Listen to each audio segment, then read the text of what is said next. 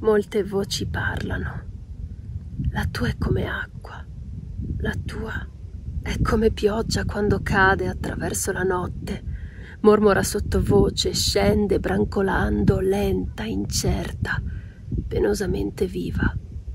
Trema come terra dietro ogni rumore, stilla e cola contro la mia pelle, morbidamente s'avvolge, mi avviluppa, riempie le mie orecchie